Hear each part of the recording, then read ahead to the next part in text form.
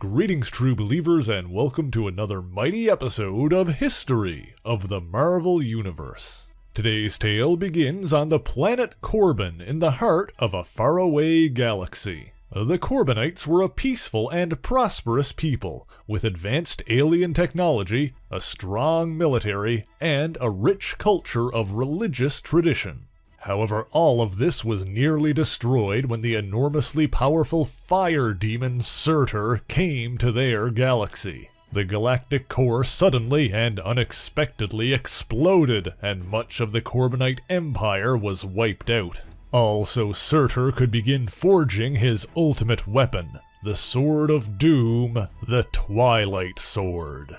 With their galaxy burning around them, the Korbinites prepared to flee their home, but they possessed not the resources to maintain their remaining population through an intergalactic voyage. To survive, they would need to place nearly the entirety of their species into cryogenic hibernation, but to leave themselves asleep and unguarded was far too dangerous. They decided to create a protector for themselves, and their first attempt at crafting a biomechanical being was dubbed the Alpha Ray. However, it turned out Alpha was too unstable and uncontrollable to be trusted with such an important task. It lacked the noble soul of a warrior, and so their second creation, the Beta Ray, was designed to house such a soul. To determine which of their people would give up their life to inhabit the cyborg body, a great contest was held among thousands of warriors. The tests were grueling, so physically demanding, so mentally taxing, they resulted in either madness or death for most who attempted them. In the end, one Korbinite survived the rigorous trials to become his people's champion, his mind and soul transferred into the bioengineered frame to become Beta Ray Bill. Bill was given an AI powered warship named the Scuttlebutt to act as both transportation and companion, and the two led their people out of the burning galaxy. But then, as the sleeping Korbinites made their exodus, scores of demons began pouring from the galactic core to give chase. Bill and Scuttlebutt met the demons head on, drawing them away from the rest of the fleet as they pushed ahead in search of a new home. But as Scuttlebutt drew closer to the planet Earth, her presence was detected by S.H.I.E.L.D's deep space monitoring systems. Fearing the alien vessel posed a potential threat, S.H.I.E.L.D's director, Nick Fury, asked Thor, the god of thunder and one of Earth's mightiest defenders, to go into space and investigate. However, Thor hailed from the fabled land of Asgard, whereas Surtur's fire demons originated from Muspelheim, both of which were among the realms connected through the branches of Yggdrasil, the World Tree. As a result, the magical energies of Thor and that of the demons appeared similar to Scuttlebutt's sensors, causing her to believe he was one of them, and opened fire. Tearing his way into the ship, the God of Thunder came face to face with Beta Ray Bill. The two noble opponents entered into a mighty, albeit misguided battle, during which Thor was separated from his enchanted hammer, Mjolnir and the enchantment on the hammer, put there by Thor's father Odin to teach him humility, dictated several things. First off, only a truly noble spirit worthy of its power was capable of lifting the hammer. Secondly, any who could wield Mjolnir would gain the strength and powers of Thor himself. Third, the hammer would always return to its wielder upon being thrown. And finally, by stamping the hammer on the ground, it would be disguised as a simple walking cane, and Thor would transform into the frail doctor, Donald Blake. However, while on Earth, Thor would need to hold the hammer continually to retain his godly form, and being separated from it for a full minute would cause him to revert to his mortal guise. And so, as Scuttlebutt drew closer to the Earth, Thor, having been separated from Mjolnir for 60 seconds, lost his godly strength in the middle of the fight. Trapped in mortal form, Thor was easily defeated by Beta Ray Bill. Damaged in the battle, Scuttlebutt crashed on Earth, and amid the wreckage, as the ship began repairing herself, Bill did something that only a handful of beings have ever been capable of. Beta Ray Bill lifted the Hammer of Thor, gaining all the thunderous powers it contained. Then, when Allfather Odin attempted to call his son back to Asgard, he mistakenly pulled Bill into the Golden Realm instead. Thinking he was among the enemies that threatened his people, Bill attempted to strike down the Allfather. However, as Mjolnir's creator, Odin was able to seize the hammer and cancel the assault, trapping Beta Ray Bill behind a wall of power until the truth could be determined. He then transported his son back to Asgard, where he regained his true form even without the hammer. Seeing the bond between father and son, Bill could only deduce that the two Asgardians were not demons, and likewise Bill's ability to wield Mjolnir proved to Thor and Odin that he was more than he appeared. And so introductions were made and Beta Ray Bill explained his plight. With the demonic hordes ever encroaching on the Korbinite convoy, Bill insisted that he keep the weapon he won in fair combat so that he might protect his people. However, the Allfather explained that the victory was not entirely fair, as it was Odin himself who was responsible for the enchantment that caused his son to drop to mortal form. A rematch was in order, and so Odin stripped both Thor and Bill of all enchantments and powers over lightning and thunder for the duration of the bout.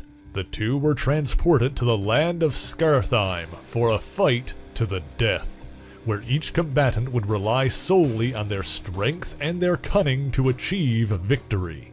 The battle was close, but Odin had slyly chosen a fiery battlefield in which Bill had the slight advantage.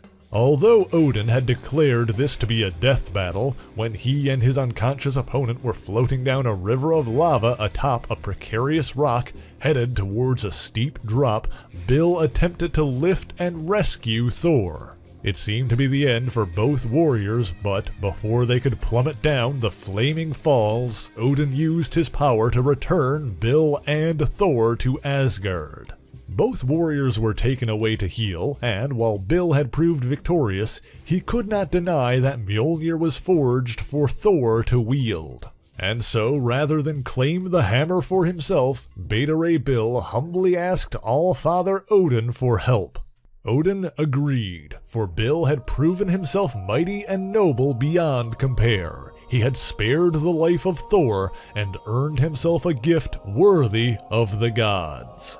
As preparations were made, one of Asgard's mightiest warriors, Lady Sif, found herself drawn to Beta Ray Bill, despite his alien appearance. And soon after, Bill, Sif, Odin, and Thor all traveled to Nidavellir, the home of the dwarves who forged Mjolnir in the heart of a dying star.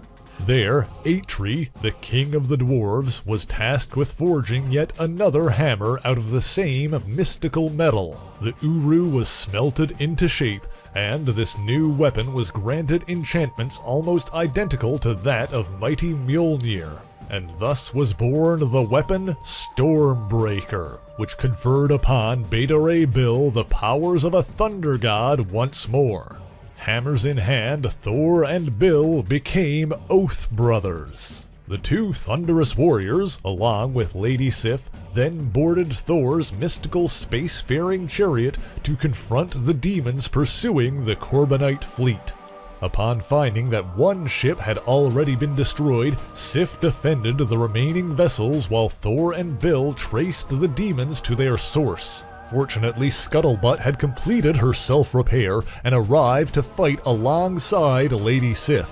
Meanwhile, Thor and Bill discovered where the demons were coming from an enormous portal in the center of the burning galaxy. They found themselves unable to enter the blazing gateway to confront their foe at its source, but by using the combined might of Mjolnir and Stormbreaker, Bill and Thor were able to destroy the portal and cut the demons off from their realm. Fortunately, this caused the demonic horde to disappear before they could overrun Sif and Scuttlebutt. The Korbinite fleet was safe once more. After this, while it was Bill's duty to return to his position and guide his people to their new home, he found himself not wanting to leave Asgard. Among the Asgardians, he had found fellowship and acceptance, but despite all he had sacrificed, his own people would avert their gaze as if he was a misshapen monster. Knowing of Bill's sacrifice, wise Odin conferred one more gift upon him by altering and transferring one enchantment from Mjolnir onto Stormbreaker. Henceforth, when Beta Ray Bill struck his enchanted hammer upon the ground, it would become disguised as a simple walking cane, and Bill would be transformed back into the Korbinite he was before he sacrificed his life and body to shepherd his people across the stars. Furthermore, Lady Sif volunteered to accompany Bill on his journey, and the two were sent back to Scuttlebutt to find and establish a new planet Korbin. However, a short time after this, Surtur completed the Sword of Doom and attacked Earth, seeking the Rainbow Bridge to Asgard. Bill and Sif were summoned once more to aid in the fight against this grave threat. Beta Ray Bill led the charge in Earth's defense against the demons of Muspelheim. Meanwhile, Thor and Odin fought to defend Asgard against the fire giant himself. Although the cost was great, this battle too was won, albeit with Odin seemingly sacrificing himself to stop Surtur. After this, Bill remained on Earth for a brief time before returning to the fleet and guiding his people to a new planet Korbin. However, he would often be called away to assist Asgard or others during various crises.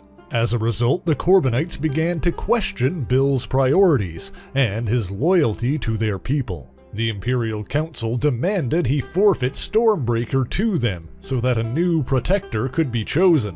While Sif attempted to protest on his behalf, Bill's goals were never to achieve personal glory or power, and so he relinquished his enchanted weapon. While many attempted to lift the hammer, it soon became clear that none who tried were worthy of wielding Stormbreaker. And when his godly might was needed once more, Bill took up the hammer and reclaimed the power that was rightfully his. He continued his cosmic adventures, often fighting alongside other spacefaring heroes in the battle against evil.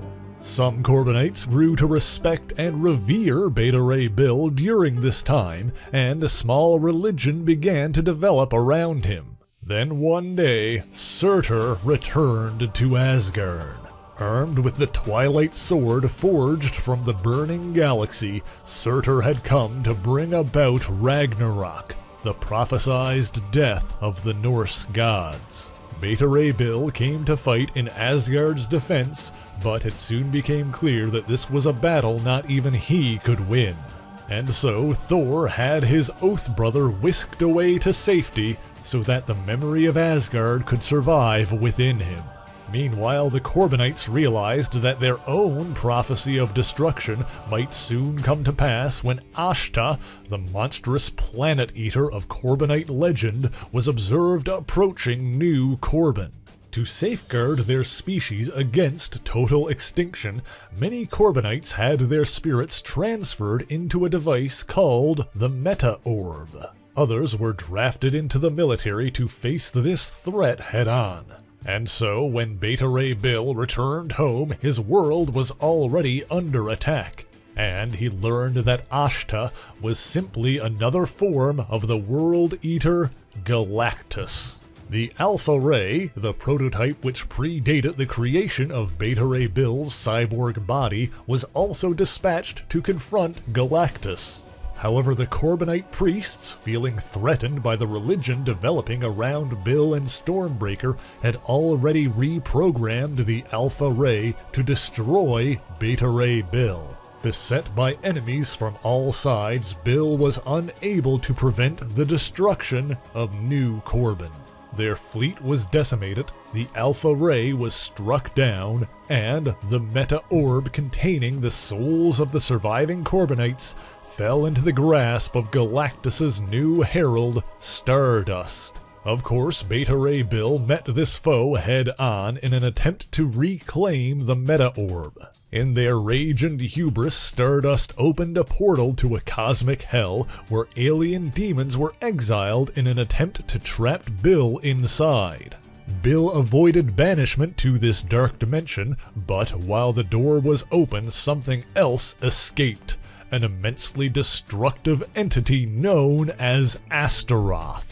Since this new enemy was a threat to the balance of the entire universe, Bill and Stardust were forced to fight side by side against it. This battle ended when Galactus re energized the Alpha Ray and sent it to drag Astaroth into a nearby black hole.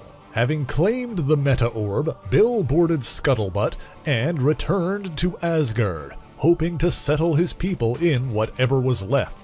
However, what he found was a flaming wreckage devoid of life. Furthermore, before Astaroth was cast into the black hole, she was able to infuse some of her essence into the Meta Orb. This demonic energy fed on the spirits of many Korbinites within the orb, and from it a new threat emerged the Omega Ray. Since Surtur had also perished in the destruction of Asgard, the Omega Ray attempted to wield the broken remains of the Twilight Sword against Beta Ray Bill, but Bill struck with Stormbreaker, shattering the remnants of the giant weapon. Then, with thunder and fury, Bill rained down a flurry of blows, destroying his demonic opponent. However, in the aftermath of the fight, Bill's cyborg body was left badly damaged. He was dying, and having lost his people and his purpose, he was ready. But then the Meta Orb flickered to life, and Bill knew there were survivors. Amidst the chaos and destruction, a glowing figure in a white robe appeared and seized the Meta Orb.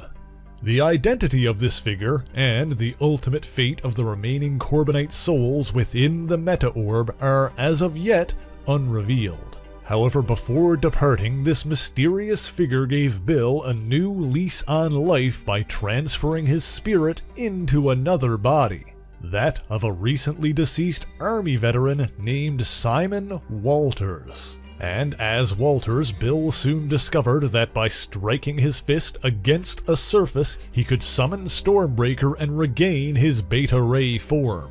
Bill did not keep his human guise forever, though. Sometime after this, because of the actions of the villainous Wrecking Crew, an army of demons was unleashed on Earth.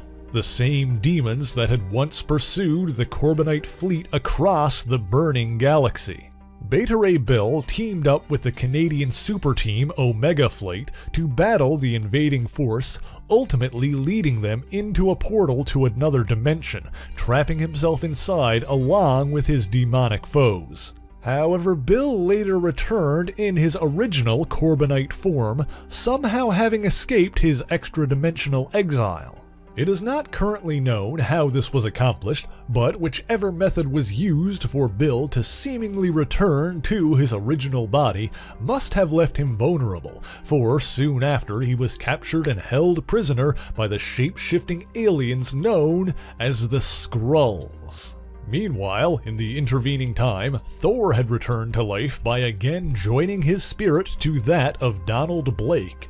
Using the Odin power he inherited from his father, Thor recreated the capital city of Asgard on Earth and resurrected the other Asgardians. Meanwhile, the Skrulls sought to conquer the Earth, but saw the Asgardians as a threat, and so after separating him from his enchanted hammer, they dropped a weakened Bill onto Asgard to deliver a warning leave Earth or die. Some Asgardians were distrustful, fearing that Bill may be a Skrull impostor himself, but Thor assuaged their fears by tossing Mjolnir to his Oath brother, allowing him to wield it and regain his Beta Ray Thor form. With Mjolnir in his grasp once more, Beta Ray Bill defended Asgard against the Skrull invasion force. Then came one of their mightiest warriors, a Super Skrull, one genetically modified to be capable of wielding a weapon made from the desecrated halves of a bisected Stormbreaker. This Super Skrull proved to be too powerful for Bill to handle alone, but Thor reclaimed Mjolnir and joined the fight as well. In the end, the Stormbreaker was returned to its proper form and its rightful owner, as Bill and Thor stood side by side as brothers once more. After this, Bill reunited with Scuttlebutt and returned to the stars to embark on a new quest. Perhaps it was for justice, or perhaps vengeance. In either case, Beta Ray Bill had one task left to accomplish to kill Galactus. His plan was simple. If Galactus needed to consume entire worlds in order to survive, then Bill would destroy any planet he attempted to feed on. Beta Ray Bill intended to starve a god. So determined was Bill that he blackmailed the inhabitants of the World Eater's next target, infecting them with an artificially created disease and holding the cure ransom until they evacuated the planet so that he could destroy it. While he believed his intentions were noble, he soon found that his heinous actions had left him unworthy and unable to wield Stormbreaker. Furthermore, while his plan was working, the Silver Surfer informed Bill that if Galactus were to die, the resulting devastation would kill everything within 42 light years. With trillions of lives on the line, Bill was horrified to find himself needing to save a weakened Galactus from the very people he'd blackmailed.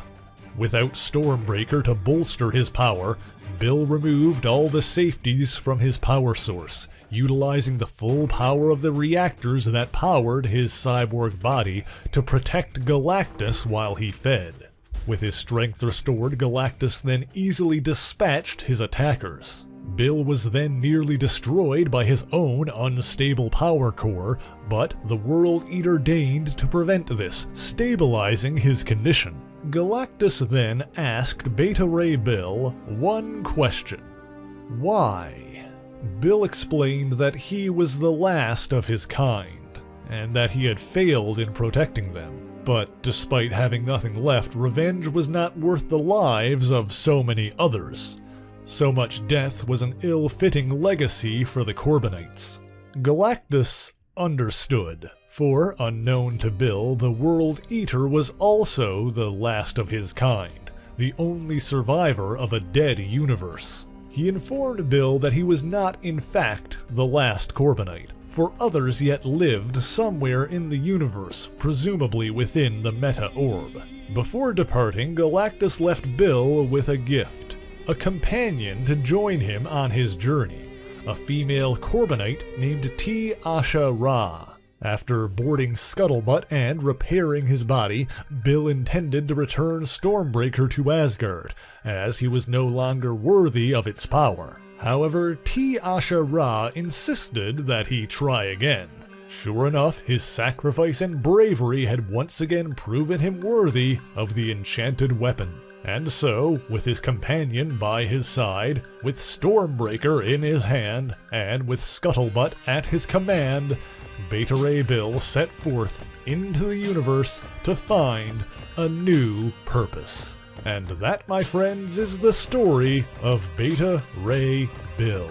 But thank you so much for watching this video. If you enjoyed it, please leave a like, share the video, and subscribe for more marvelous content. Be sure to leave a comment letting me know what Marvel hero or villain you want to hear about next, and as always, the issues referenced in this video are listed in the description below if you would like to read them for yourself, as well as links to other places you can find me. So until next time, true believers, Excelsior!